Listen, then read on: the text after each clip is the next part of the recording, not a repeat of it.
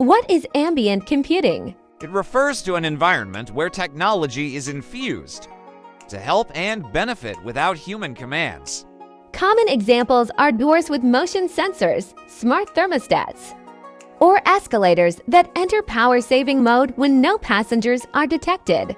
Moving at a meteoric speed and promising and intuitive. Future of devices that will control the environment without human intervention. Will this seamless ambient computing make us dance to its tunes? Your answer matters. Thank you for watching. Please like, share, and subscribe.